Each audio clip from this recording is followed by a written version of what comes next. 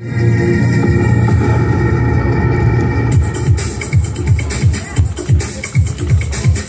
ты, он, она, вместе дружная страна, вместе дружная семья, в слове мы сто тысяч я, большеглазых, озорных, черных, рыжих, льняных, грустных и веселых, в городах.